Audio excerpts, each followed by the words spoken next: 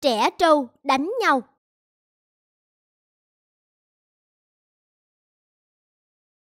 Tiết, ai dạy con đánh nhau hả? Ra úp mặt vào tường cho mẹ. Tại thân dân nó... Không nói nhiều, hôm nay mẹ phạt cảnh cáo con nhé. Lần sau con mà đánh nhau á, mẹ không cần biết con đúng hay sai. Mẹ sẽ phạt con ít nhất năm rồi. Giờ thì đứng đó cho mẹ, đến khi nào bố con đi làm về thì thôi. Đây, siêu nhân của cháu đây.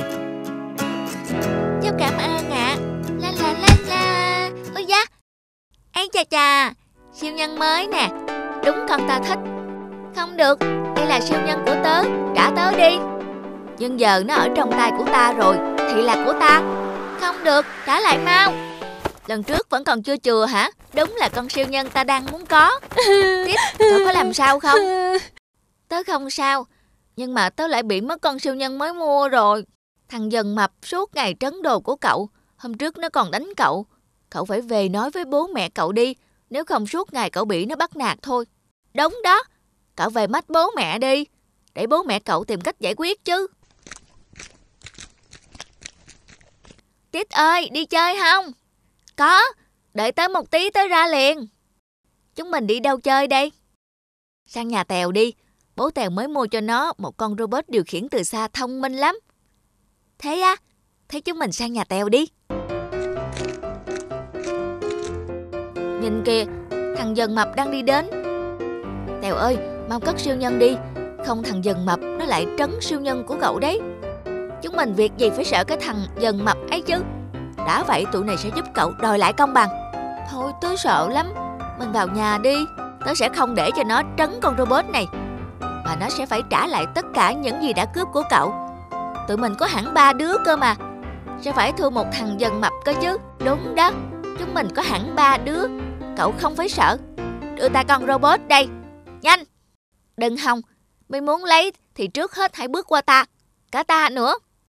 Cả, cả ta nữa. Hai chà, thằng Tít còn lập thêm đồng bọn nữa hả? Vậy thì hôm nay ta sẽ cho ba đứa mày như đòn. Thử xem. Hai cậu còn nhớ trò ba anh em siêu nhân mà bọn mình hay chơi không? Ừ, nhớ. Được rồi, vậy chúng ta hãy coi thằng dần mập là yêu quái. Cùng hợp sức để chiến đấu lại nó nhé. Đồng ý. Siêu nhân đỏ biến hình, siêu nhân vàng biến hình. À, à. Hi, hi. Mấy đứa đang làm cái gì thế? Tít, sao con lại đi đánh nhau hả? Ừ, dạ, con con đang chơi trò siêu nhân. Chơi siêu nhân mà đi đánh nhau thế này hả con? Hôm nọ mẹ phạt con úp mặt vào tường, vẫn còn nhẹ đúng không? Đi về ngay, hôm nay bố sẽ cho con vài rồi. Bố, bố tha cho con đi bố.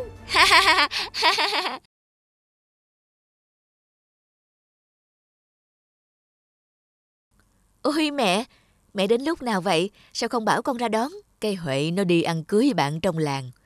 Tiện đường mẹ bảo nó chở mẹ đến nhà các con luôn. Lâu rồi mẹ cũng chưa đến nhà các con. Mà thằng Tít đâu rồi? Mẹ có quà cho nó nè. Nó ở trong phòng mẹ à.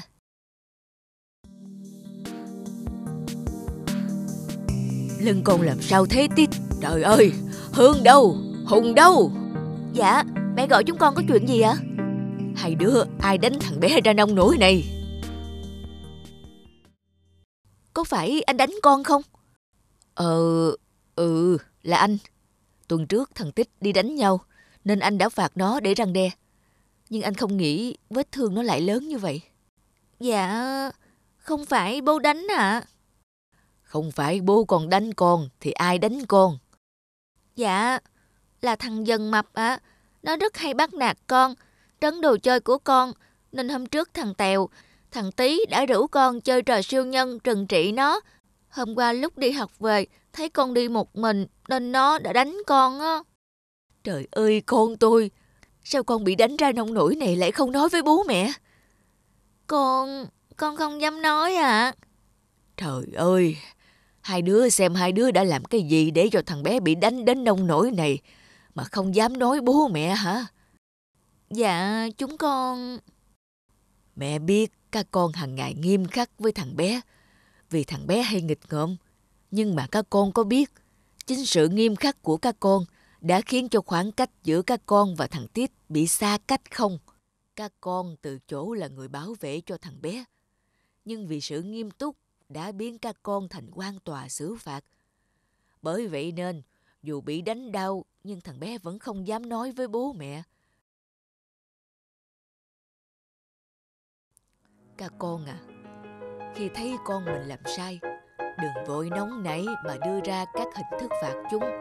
Hãy bình tĩnh tìm hiểu tại sao chúng làm như vậy và tâm sự với chúng như một người bạn để từ đó khuyên bảo con. Có như vậy thì những lúc khó khăn, con cái mới luôn tìm đến bố mẹ. Chúng con hiểu rồi mẹ à. Bố mẹ xin lỗi Tin Lần sau có chuyện gì hãy nói cho bố mẹ nghe nhé. Dạ, con cũng xin lỗi bố mẹ ạ. À. Lần sau con sẽ không đánh nhau với thằng dân mập nữa. Bà cho con nè.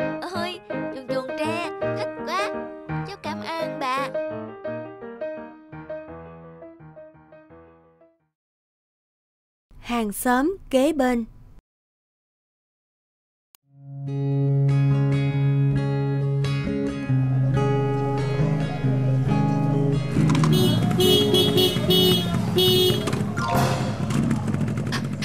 Trời ơi, chú Huy, cảm ơn chú. Hôm nay không có chú thì mẹ con tôi nguy rồi. Mẹ con chị không sao là tốt rồi. Ờ, nín đi con, nín đi ba thương nào. Khổ thân anh Huy, gà trống nuôi con. Ai, vợ mất sớm, một mình xoay sở sao với thằng bé 3 tháng tuổi cơ chứ.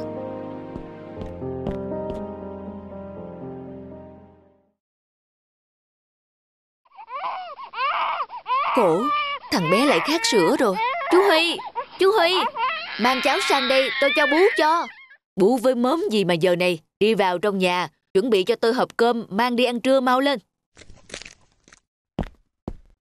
Thằng bé chắc khát sữa lắm rồi, rõ khổ, mới có 3 tháng tuổi mà đã mất mẹ. Hay là anh sang bên nhà chú Huy, bảo chú ấy bế con sang đây cho em cho bú. Cái mít nhà mình nó bú cũng không hết. Vớ vẩn, sao mà bú chung được? Bú để cho lây bệnh sang con mình đó.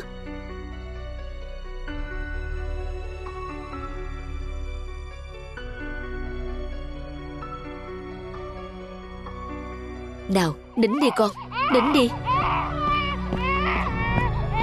Chắc cũng phải một tiếng nữa bố cái mít mới về.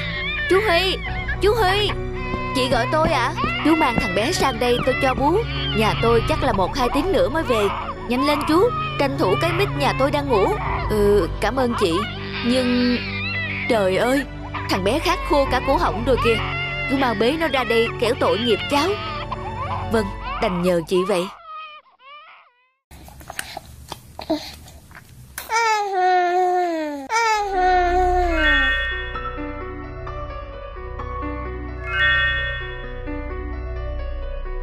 Từ giờ cứ tầm này, Anh mang cháu sang đây tôi cho bú nhé.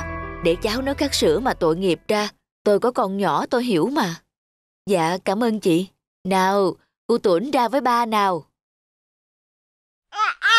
Nào, ra với ba nào con trai? Ba yêu ba yêu. Ờ dạ Anh đã đi làm về rồi ạ. À? Nào, cô Tuấn Cô Tuấn đã chào bác Nam chưa? Bú tí chung với em Mít. Nhớ sau này không được bắt nạt em nghe chưa? Cảm ơn chị nhé. Em xin phép cho cháu về ngủ ạ. À? Chào hai bố con nhé. Đã bảo là không được cho bú rồi. Người dân chứ nào có phải anh em họ hàng ruột thịt gì đâu cơ chứ. Phải, người dân nhưng mà mình, mình có nhớ cách đây hai tháng. Nếu không có chú Huy thì hai mẹ con đã nguy rồi không? Chú ấy là người sống tình nghĩa và tốt bụng. Hơn nữa thằng bé bây giờ như con nai tơ bơ bãi. Nhưng không chừng mai nó lớn lên thành đạt. Sông có khúc, người có lúc mình à. Cũng biết đâu mai này mình với nó lại gặp nhau. Cùng ngồi trên chiếu đường đời.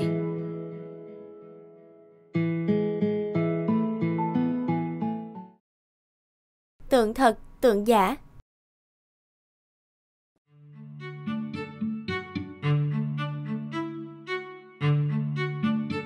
May mắn lắm, hôm nay chúng ta mới có dịp được thưởng lãm bảo vật gia truyền nhà phú ông. Nghe nói đó là pho tượng bằng ngọc lục bảo hiếm có vô cùng. Vậy hả? Đúng là dịp may hiếm có. Trước nay phú ông chẳng bao giờ tiết lộ về pho tượng gia bảo đó. Cảm ơn các vị đã bớt chút thời gian đến đây. Hôm nay, tôi xin mở tiệc trà mời các vị thưởng thức và chiêm ngưỡng bức tượng lục bảo có 102 để mở mang tầm mắt. Chắc nó phải đẹp lắm. Đương nhiên, có lẽ nó còn phát sáng nữa ấy chứ.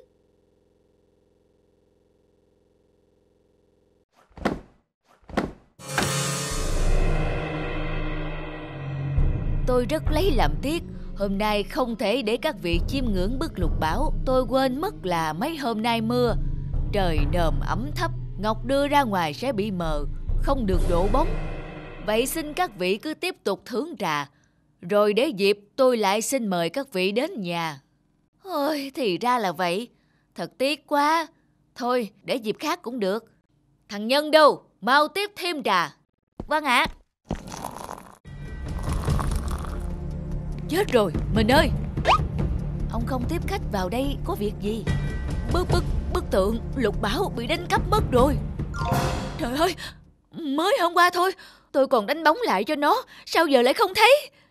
Tôi nào đâu có biết Vừa mở tủ ra đã không thấy đâu rồi Bà mau gọi cho tất cả gia nhân Người ở lên đây Tôi sẽ báo quan Rồi loan báo khắp cả cái huyện này Cái quân trộm cướp khó lòng mà thoát được bàn tay tôi Bình tĩnh đã Ông đã vội nói tin tức bức tượng bị mất cho ai chưa? Chưa, vừa nãy sợ mất mặt nên tôi nào có hé răng nói câu nào với quan khách. Không thể để tin này loan đi được. Có thể nó sẽ tẩu tán trước khi mình bắt được thì còn đâu tan chứng vật chứng. Ông cho gọi thằng Nhân vào đây, mình cưu mang nó từ nhỏ. Hơn nữa tôi biết tính thằng bé này, có thể tin cẩn được.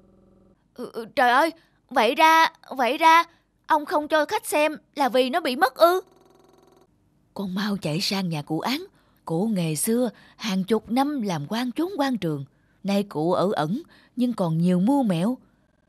Biết đâu cụ có thể cứu nguy cho nhà mình. Con dẫn cụ theo lối cửa sau.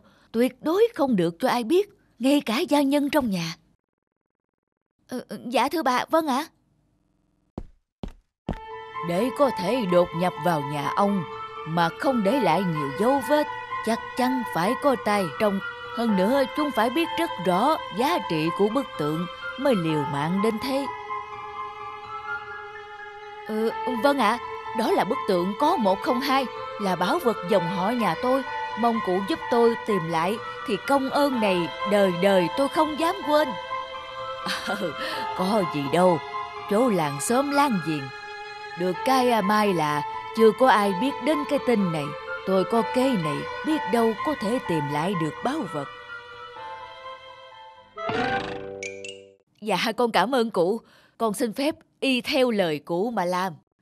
Thằng Nhân, mày loan tin khắp cả huyện, mời hết khách của ông tuần sau đến phủ để hưởng ngoạn bức tượng.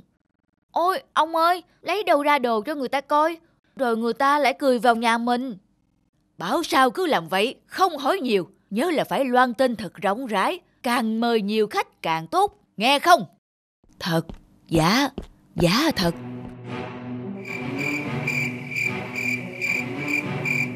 Có chuyện gì mà mày gọi tao đến gấp thế? Đem bán bức tượng chưa? Đã thử rồi, nhưng vẫn chưa tìm được mối bán giá cao. Mà sao suốt cả tuần qua, mọi chuyện em ru không thấy rùm beng lên? Trời ơi, may mà mày chưa đem bán, chúng ta lấy nhầm đồ giả rồi. Sao lại thế? Tao mới nghe thằng Nhân bảo là phú ông lại mời quan khách đến xem tượng. Thì ra bức tượng thật ở sau một lớp gỗ nữa ở trong cái tủ đó. Còn cái bức tượng này chỉ là hàng giả nhằm đánh lạc hướng kẻ nào muốn trộm nó. Không ngờ lão ta cao tay đến thế. Thảo nào suốt cả tuần mà không thấy lão ấy lên trình báo quan. Hóa ra đây là đồ vô giá trị à. Ném quách nó đi. Khoan đã, đã đến nước này không thể tay trắng được. Chắc chắn chúng đã đem giấu đồ thật ở chỗ khác. Mày mau đem thuốc mê đánh cả nhà nó, để tao đi tìm chỗ tráo. Nhưng mà sợ phú ông có đề phòng. Tao ở nhà suốt, không thấy động tĩnh gì cả. Chắc vẫn đang hả hê vì lừa được bọn trộm cướp, cứ yên tâm.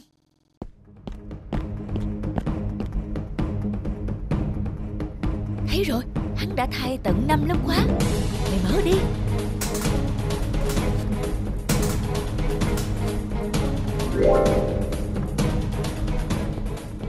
Đứng lại Lần này chạy đâu cho thoát. Thả chúng ta ra ngay, nếu không chiếc bình này sẽ vỡ tan. Cứ đập thoải mái. Thực ra bức tượng mà các ngươi lấy đi ban đầu mới là tượng thật. Không ngờ, chỉ một kế nhỏ mà các ngươi đã trúng kế. Thật nuôi ông tai áo bao nhiêu năm nay, ông Năm mà. Ờ, vậy ra, vậy ra... bà nhà đây đã cho người làm một bức tượng giống hệt bức tượng cũ. Không ai làm lộ ra thông tin Bình bị trộm. Ngược lại còn loan tin bức tượng lấy đi chỉ là của giả. Các người non gan nên đã không tin mình cầm trong tay là đồ thật nên mới bị xa lưới thế này. Thì ra mở đến miệng mèo còn để bị tuột mất. Bỏ quýt vậy đã có móng tay nhọn, các ngươi lần này phải chịu sự trừng phạt thích đáng. Vụ án đúng là mưu trí hơn người. Chỉ một kế nhỏ thật giả, giả thật mà đã tìm được vật báo trở lại. Xa vòng tay mẹ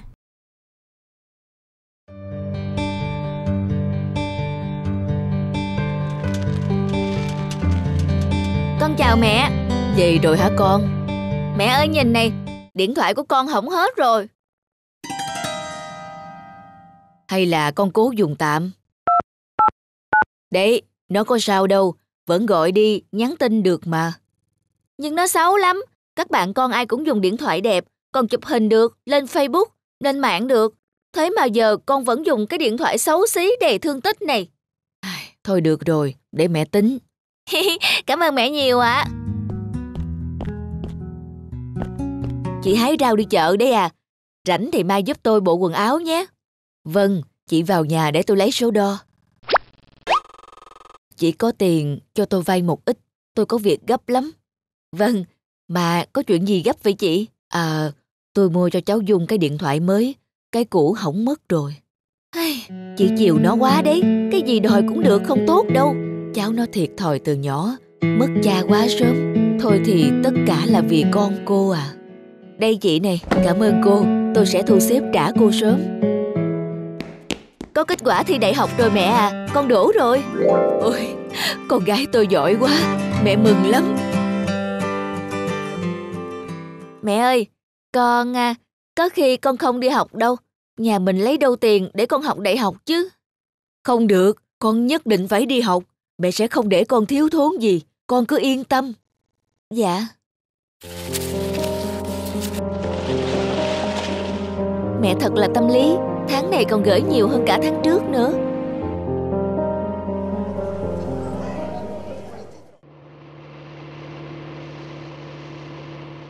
Qua khu chợ này là đến nhà rồi Chắc giờ mẹ đang chờ bọn mình ở nhà đó Mua cua đồng đi ạ, cua tôi mới bắt còn tươi lắm. Mẹ, sao mẹ ở đây? Con tưởng... Dạ, cháu chào bác. À, mẹ tranh thủ đi bắt ít cua để kiếm thêm ít tiền. Con với bạn về nhà trước đi, lát mẹ về. Mẹ, mẹ đừng buôn bán mấy thứ này nữa Không làm thế lấy đâu tiền cho con ăn học. Nhưng con xấu hổ lắm mẹ biết không Con xấu hổ. Từ giờ con sẽ không nhận tiền của mẹ nữa Dung, kìa Dung à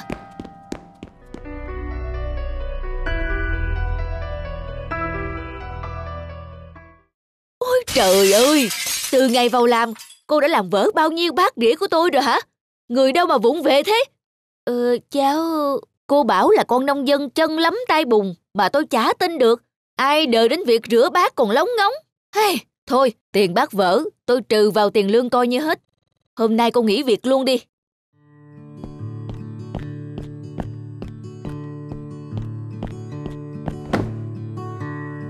Chị ơi, chị có thể cho em xin mấy đồng Từ sáng đến giờ em chưa có gì bỏ vào bụng cả Chị không có tiền, em ăn tạm vậy.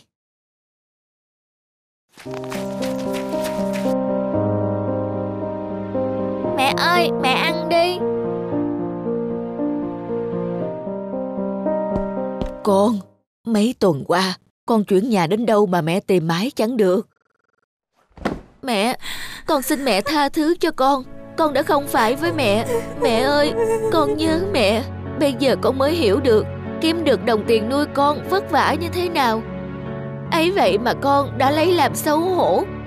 Con hư đốn quá Bất hiếu quá Mẹ ơi. Thôi mà con Con hiểu được vậy là mẹ mừng rồi. Ở đời này Kiếm tiền bằng sức lao động Bằng những việc làm chính đáng Thì có gì xấu hổ hả con? Mẹ chỉ buồn là Chưa làm được cho con bằng bạn bằng bè. Không Mẹ đã vất vả cho con quá nhiều rồi Con không mong gì hơn đâu